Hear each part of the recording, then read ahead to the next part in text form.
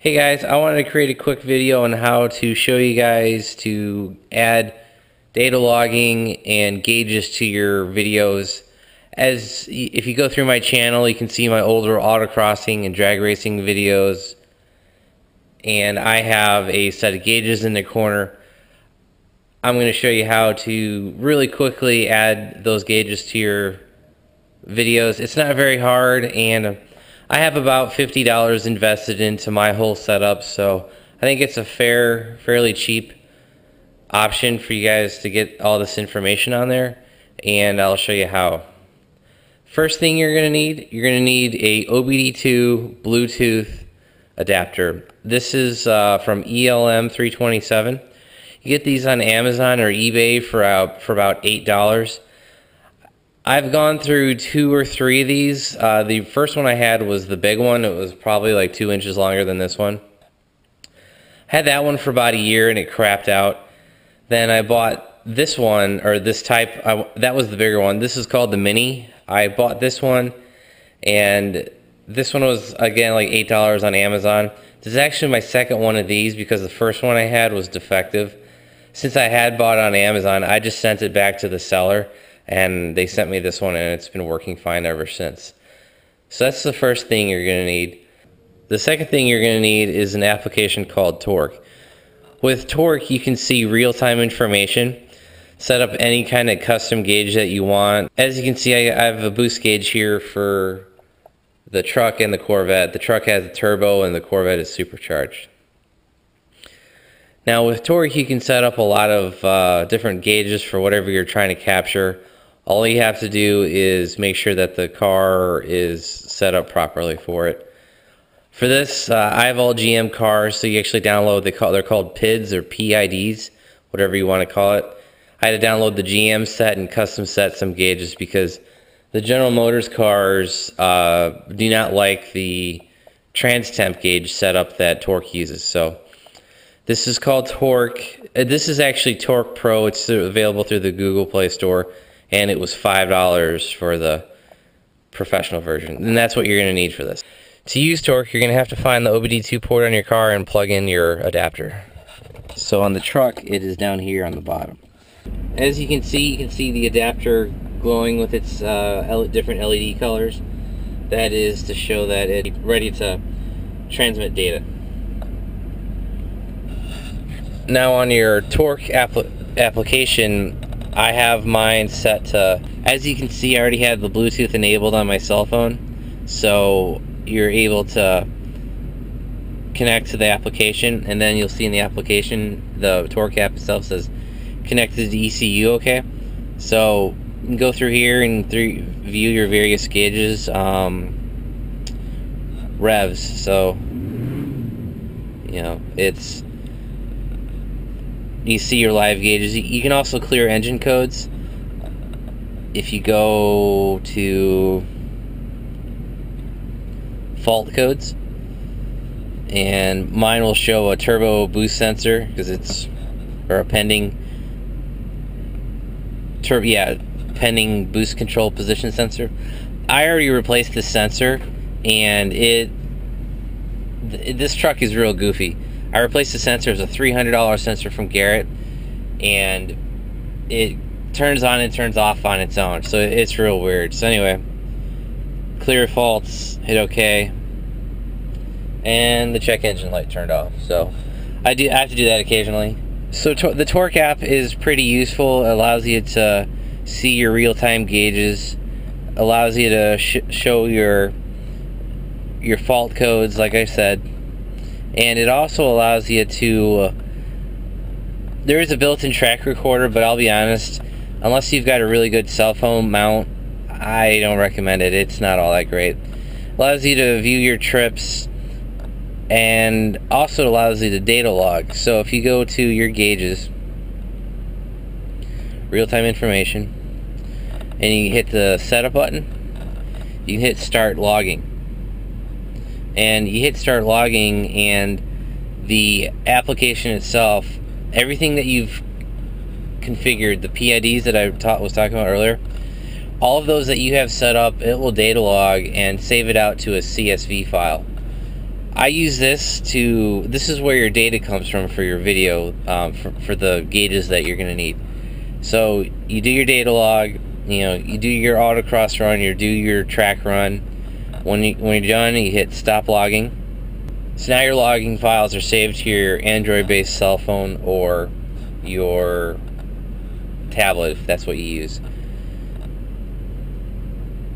And you can either email it, either there's an option to email logs, or you can also just download it from your from your cell phone. That's what I do. I just plug my cell phone into my computer via a USB cable, the mini USB cable.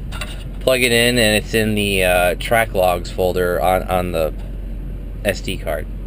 If your cell phone has an SD card, my phone, this is a Galaxy S6. It actually doesn't have one, but the S7 that I'll be getting at some point does, and that's where you can save your files.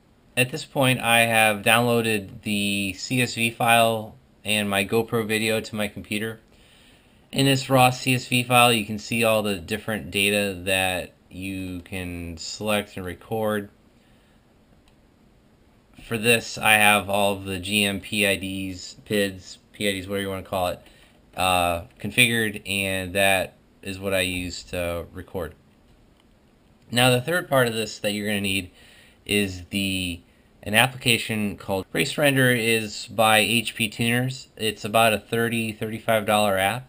And this is what allows you to import the video, audio video, as well as the CSV file data into your video to create your gauges. So for this video, we're going to do data log simple, data logger simple. You're going to input your video, input your data. So your video will be your video file, your GoPro file, your data will be the track log file from Torque.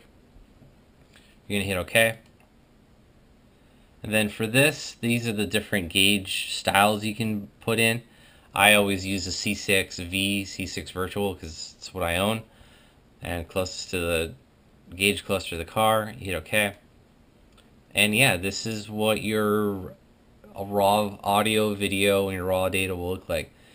Now, you will need to trim and synchronize the configurations because a lot of times if even if you hit you turn your GoPro off and you hit stop logging I have noticed that those two if you hit the you know that it takes a good second it's off by a good half second to a full second sometimes even three quarters of a second between turning stopping the video during GoPro and stopping the logging on your Torque Pro application on your phone.